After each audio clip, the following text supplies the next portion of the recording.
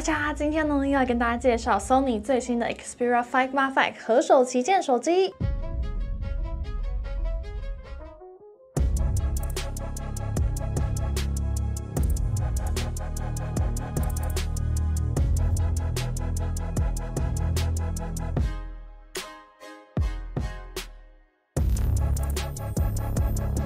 现在这个时代呢，可以说是影音平台称霸的年代。Xperia 5 Mark V 它的相机跟功能可以说就是为了这个影音需求而量身打造的哦。用这个超小机身就可以打造出类似单眼相机拍出来的效果哦，像是最先人像散景。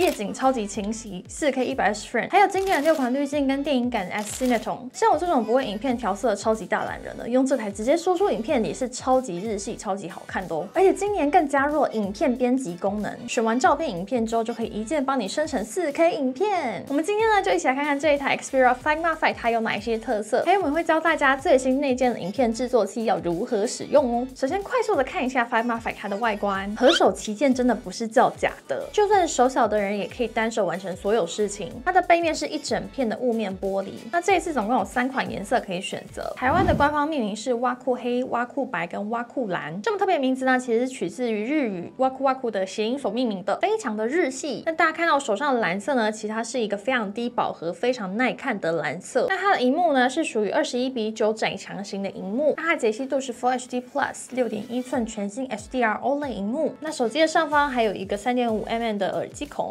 下方则有一个。扩充 SD 卡跟 SIM 卡的二合一卡槽，那这个地方蛮特别，就是它其实是可以直接抠出来的，还蛮方便的这样子。那这次晶片呢是采用高通 S8 Gen 2，跟石墨烯总量增加四十赫兹的全新散热设计，打游戏啊、拍大片都是没有问题的。电池的部分则是五千毫安时的大电池，正常使用一天都至少还会有一半以上的电量，续航力超强的。像是那天我带它去外拍一整个下午，就是沿路拍照录影啊，然后至少有四个小时吧，电量也才从九十几下降到七十七 percent，我还蛮。讶异的。再来讲到这只手机的大重点，就是拍照或录影都超好看的相机。我觉得 Sony 手机真的是随便拍随便录影，色调都超级好看的。那这个 Five Mark Five 更是如此哦。那 Five Mark Five 它跟 iPhone 十五一样是搭载了两颗镜头的设计，但其实它提供了等同三个镜头，包含了超广角十六 mm、主镜头二十 mm 跟两倍四十八 mm 等三个焦段哦。相信很多果粉也都知道，苹果手机大多也都使用 Sony 家的感光元件。这次 Xperia Five Mark Five 它的主镜头感光元件是采用 Sony 最新旗舰级的。双层式感光元件具备很好的感光能力以及降噪效果。也因为这样子呢，虽然它只有两颗镜头，但是透过新的科技，可以同时支援应用于二四 mm 和具备相当于两倍光学焦段拍摄能力的四十八 mm 焦段，让更多取景范围都能享有无损画质。同时受益于这个新的感光元件跟演算法，夜拍模式也有了很大的进步哦。就算是两倍望远，可以拍出明亮清晰的照片。另外呢，再配合这支全新的人像散景模式，那蛮特别的就是这一次在前景运算的部分呢，大家会看到它是一个非常自然的处理哦。这样子拍摄人像呢，也可以制造出接近单眼相机的效果，它的边缘处理都非常的好。相机里面，另外我最爱的就是它的内建滤镜 Creative Look，总共有六款创意外观可以选择。那里面呢，其实都是比较偏日系、低饱和的感觉哦，超爱。那在录影的部分，蛮特别的功能就是它可以打开 S Cineton，这个功能其实是来自于 Sony 的数位相机，它可以让你的录影拍出一个电影感，它不用调色就超级好看。像是如果你要录 Vlog 就非常的适合，感觉出国就超好用的。另外 f i n a f i n 也支援。四 K 一百二十 frame，在相机里面就可以直接选择喽。拍慢动作片花超级好用的，例如说你要拍一些细节啊，或是营造氛围感都非常好用。那为了影影短影音的需求，这次 Five Five 还推出了内建的独家剪辑功能哦。我跟你讲，这个最强的是什么？它可以自动帮你剪片，而且它还可以支援最高四 K 画质输出哦。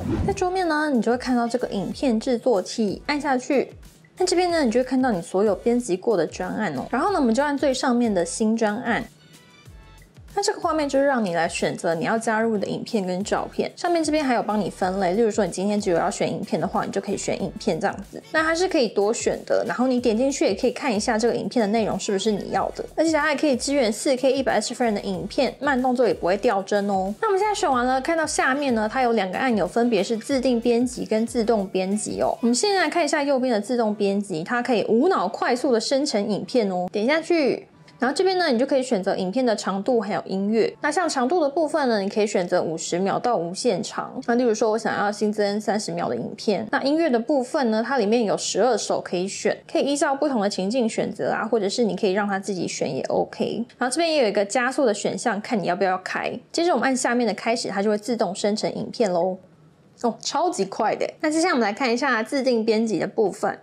我们先来看一下它整个界面，它下面这一排轨道呢是编辑列跟时间线。例如说你的音乐或字卡要在几分几秒出现的话呢，就会显示在这边。那你可以用两只手指头放大跟缩小这个时间线。那下面这一排呢就是编辑功能。那在剪片的时候，有件事情蛮重要的，就是目标的选择。什么叫目标的选择呢？就是你下面的这一排编辑按钮会随着你选择的目标改变哦。那例如说我们现在什么都没有选的话呢，它就是主选单。那选了音乐或是文字的话，都会有不同的选单跑出来。例如说，我现在选择这个音乐的话，它就会有一个绿色荧光的框框哦，所以它下面的这一排编辑就会变成针对这个音乐的编辑项目。那如果我要回到总编辑选单的话，我就按一下空白处。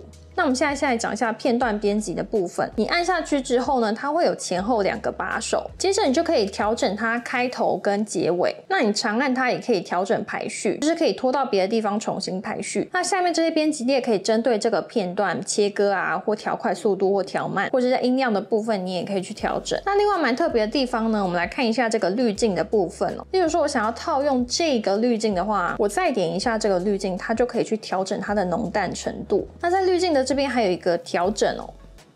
进来就可以调整更细部的项目，例如说曝光啊或对比。那全部调整完之后呢，如果你想要整部影片都套用的话，也记得要按下面的这个套用至全部，它整个影片才会维持一样的滤镜。这边还有旋转或者是这个位置，它是针对更细部的调整片段的时间点哦。然后后面呢还有复制或是取代片段。那编辑这个片段完成之后，我们按一下空白处就会回到主选单。好，那我们看到主选单的部分呢，第一个是汇入，就是当你今天想要额外插入图片或是影片的话，就可以按这个按钮。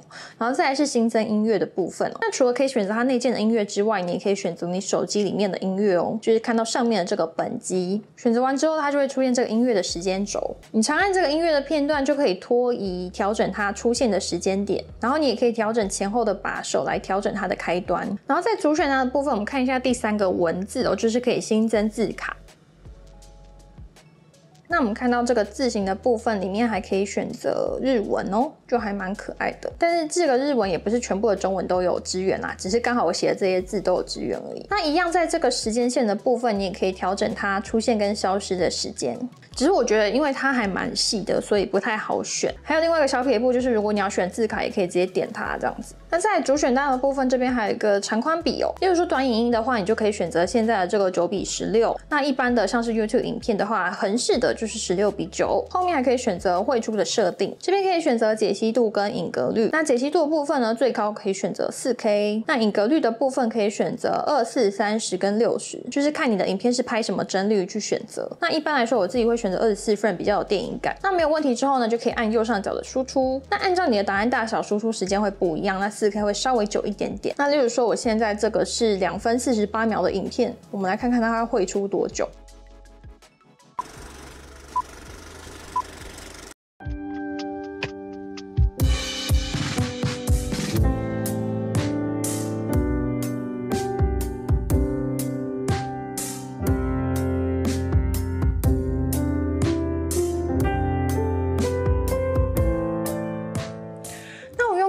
剪辑软体呢？我觉得它最大优点就是它没有广告，也不需要付费，然后也没有浮水印，而且它的画质也可以输出到四 K。因为很多软体其实这个功能是要付费的，所以如果大家想要开始尝试简单的影音编辑或是日常影片留念的话呢，就可以用用看这个最新的功能哦。那最后呢，我自己使用这支 Five Five 下来，我觉得对我来说有一种把单眼放到小手机上面的感觉，就是带出门完全不会有负担。但是下个月我要去日本，我就会非常想要用它来录 Vlog 之类的，因为像它这样子小小一支就可以拍出非。常常美的人像三景啊，或是拍的私人从影片都超美的，所以其实你不太需要另外调色，也可以直接把它发在 Instagram 或是 Facebook 上面。而且除了它的相机功能非常强大之外呢，它的续航力也非常的强。像是那天我外拍了一个下午，大概才耗了二十多帕的电吧。然后它也有高通 S8 Gen 2的高效能，在日常使用上是绝对没有问题的。然后我最近也开始很喜欢用这一台来追剧或者玩游戏，很喜欢它荧幕 HDR 还有双喇叭的表现，觉得更加提升了随身使用小荧幕享受影音娱乐的体验。最后最重要的是它加上了快速剪片的新功能，让每个人都可以轻松完成影片上传 IG Reels 等影音平台，真正零时差的与亲友分享生活里的精彩时刻，可以说是影音创作的最佳选择。那我们今天这台 Sony Xperia 5 Mark 就介绍到这边，如果大家还有什么疑问的话呢，欢迎在留言区告诉我。那我们就下部影片再见喽，拜拜。